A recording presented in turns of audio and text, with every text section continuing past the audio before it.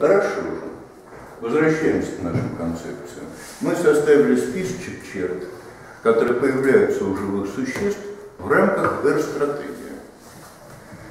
Ну а теперь, а теперь скажите, пожалуйста, вот как, слышали ли вы два таких слова, э, точнее даже три слова, F-трофные водоемы, олиготрофные и мезотрофные? Не слышали.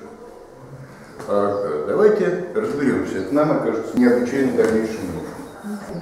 Есть у нас где-нибудь в субтропической или тропической зоне не очень глубокий, ну, допустим, несколько метров всего, водоемчик, так? Он, э, вода это освещается на всю глубину? Да. Нет. Как нет? 2-3 метра глубина. Освещается. Ну, разумеется, конечно, на полную глубину освещается.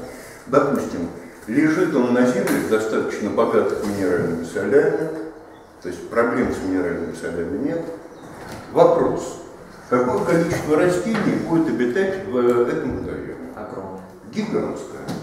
Причем основу биомассы будут составлять крупные водоросли, которые вот так растут, или одноклеточные водоросли, которые во всем объеме сидят.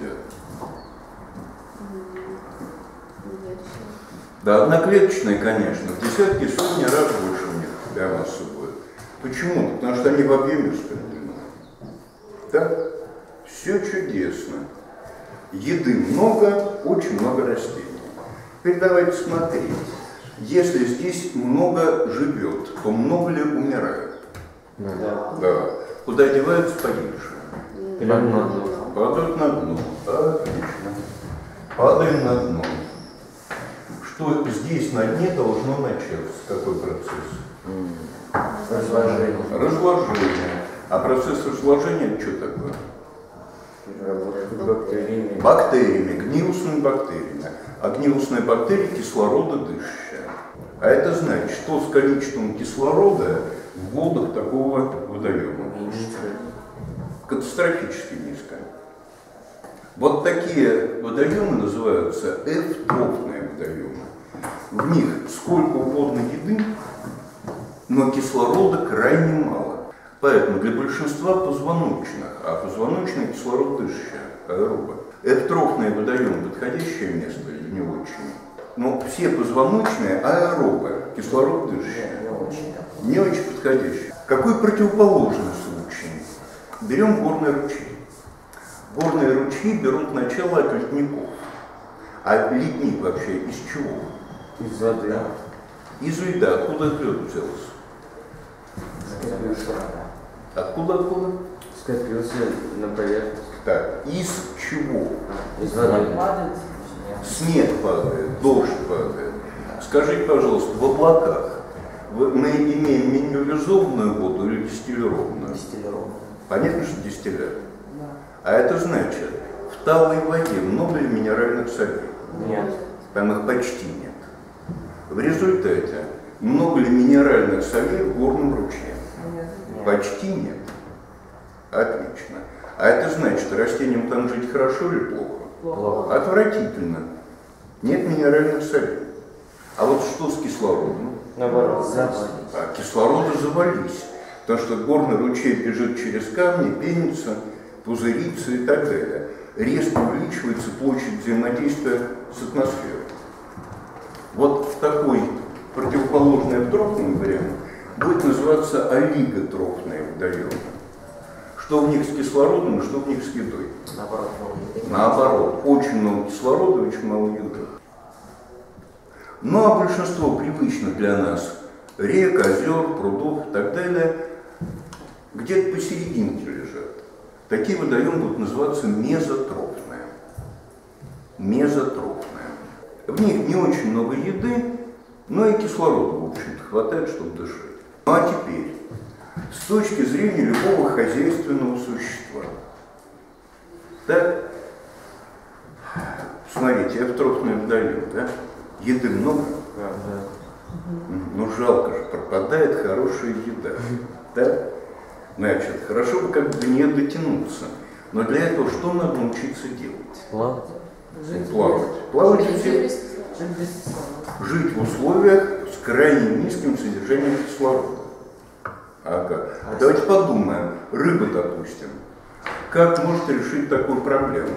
Потому что большинство нормальных рыб получает кислород через жабры из воды. А На поверхности. всплывать на поверхности. Да, отлично. А это значит, какие дополнительные органы газообмена нам такой рыбе завести? Ну, если не легкие, то органы воздушного дыхания. Вот на самом деле у всех хрящевых рыб, у акул и скатов, таких органов нет и быть не может. А вот у всех костных рыб обязательно есть. Как это все дело устроено? Вот костная рыба. Кто такие костные рыбы, понятно? Да. Но это все, кроме акул и скатов, грубо говоря. Значит, и килька, и меч рыба, и осетр, и стерлядь, и там, я не знаю, кита, и бычок, и щука, все они постные рыбы. Так? Значит, как устроено? Нас будет интересовать пищеварительная система. Итак, первый отдел широкий, захватный отдел глотка, затем пищевод, проводящий пищу в желудок, за желудком переднеуложный кишечник. Вот она, пищеварительная трубка, ее отдел. Какое изобретение у костных рыб по отношению к хрящевым? А дело в том, что внешняя среда внутрь нашего организма может попадать только внутрь вот этой трубки. А вот сюда белый крестик поставил. Вещества из внешней среды могут попасть? Нет. Нет. Если кишечная трубка целая, дырок нет, то никогда. Вот сюда могут попасть второй крестик? Нет. То есть внешняя среда только внутри этой трубки. Отлично. У костных рыб возникает несколько разных вариантов выступов этой трубки. Привычные нам. Это что за мешки отросли от глотки и ушли в целом? Э, Так как э, они называются? Вот их две штуки. Легкие, разумеется. Легкие это воздушные мешки, отросшие от глотки. Отлично. Второй вариант. Вот такой мешок. А это что такое? Тоже гло- не совсем легкое. Если посмотреть э, на стенку этого мешка, она гладкая. Стенку легкую-то обязательно имеет э, развитую поверхность, а здесь гладенькая стенка. Воздушный мешок. Плавательный пузырь называется. Не слышали никогда, что у костных рыб есть пузырь плавательный пузырь? Ага. Такие мешки используются далеко не только для газообмена. Ну, допустим, главная задачка плавательных пузырей – это тонкая регуляция плавучести. В газообменах они как раз не участвуют. А плюс к этому что может быть? Могут быть газообменные выросты трубки вот здесь, в районе черепа, между косточек черепа. Пошли такие выросты так будет лабиринтовый аппарат.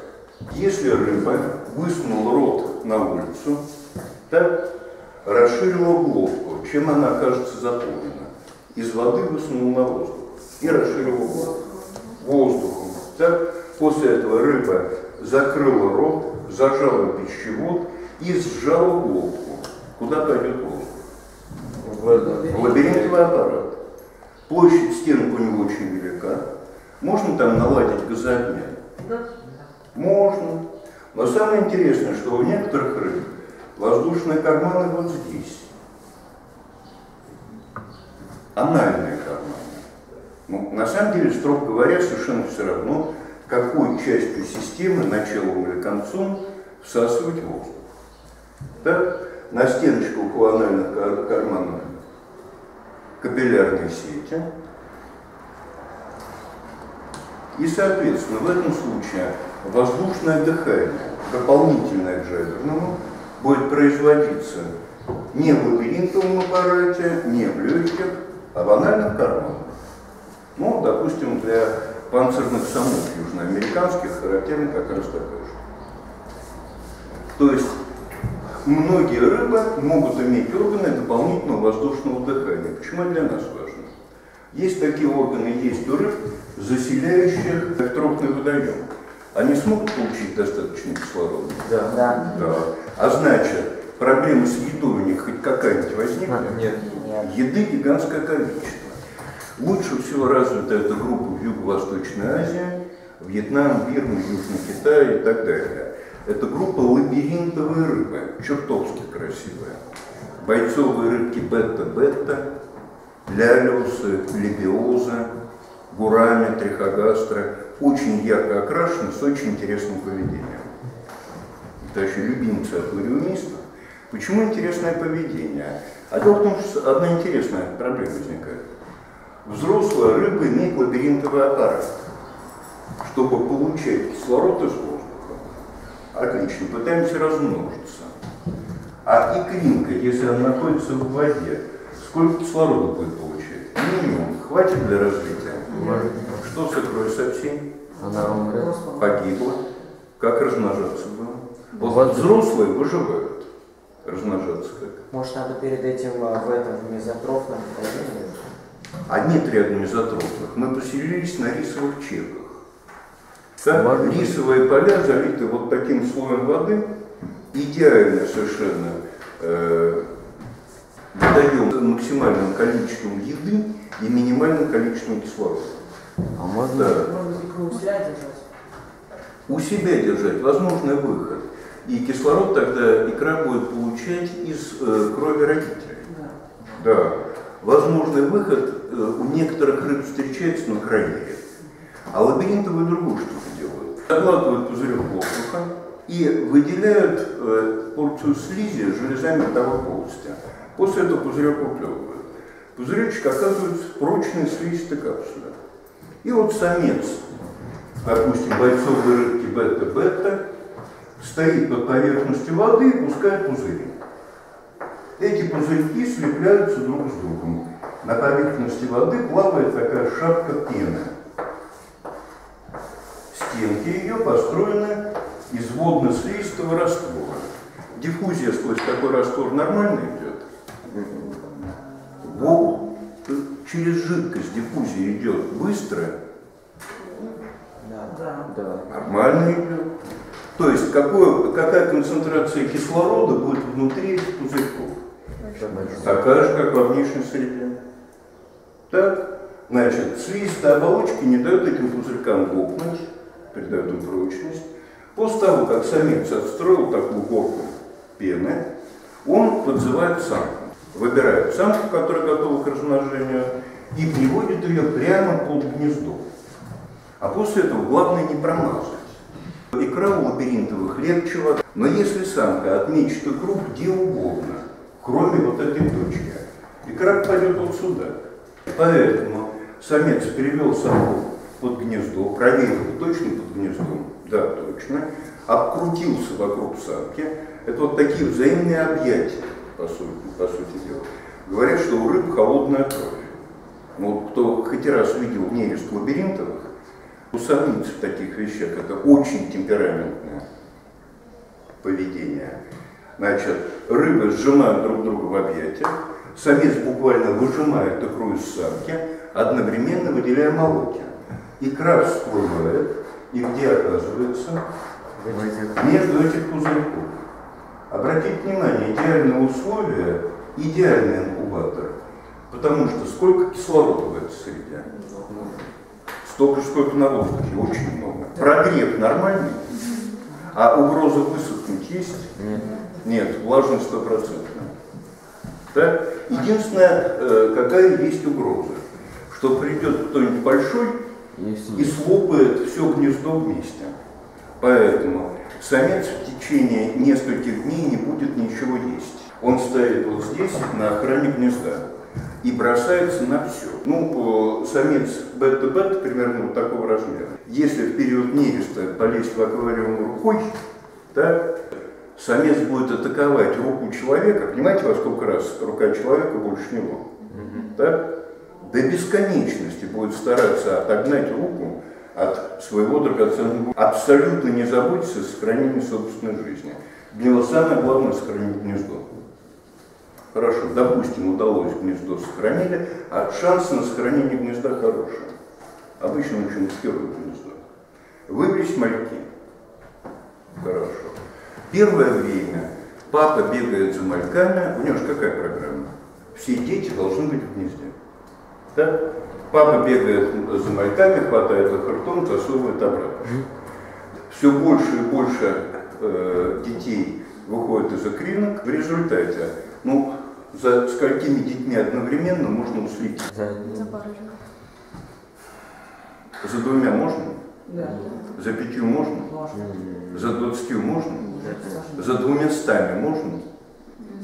Вот когда количество детей переваливает через мысленную границу, да, у папы в голове щелкают выключатель, что все, уже все равно ничего не сделаешь, и что с его родительской программой забота, выключается все.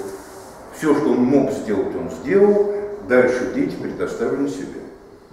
Вот скажите, в таком режиме размножения можно ли откладывать миллионы икринок, как треска? Нет, э, после этого. Можно ли сотни тысяч, десятки тысяч, тысячи? Нет. Нет, нельзя. Вы такое гнездо не сможете ни создать, ни охранять. Значит, что с количеством э, молоди в каждом поколении? Уменьшается. Вот это противоположная стратегия, противоположная по отношению к R. Называться будет К-стратегия.